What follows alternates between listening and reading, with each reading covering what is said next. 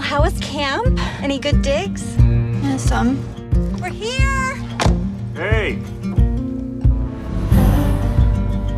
This is my boyfriend, John. It's a pleasure to finally meet you. I hope you don't mind that I'm here. I know it's your lake house and I'm not trying to take away time with your mom.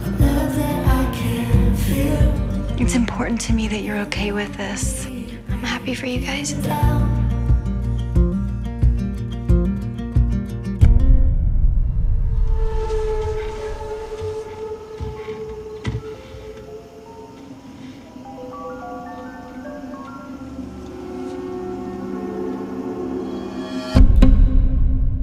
How did you guys meet?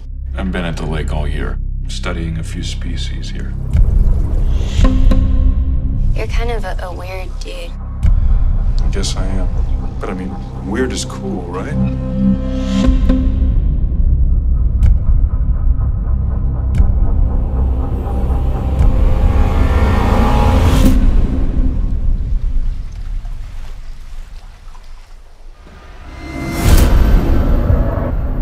You always lock the doors when you sleepwalk?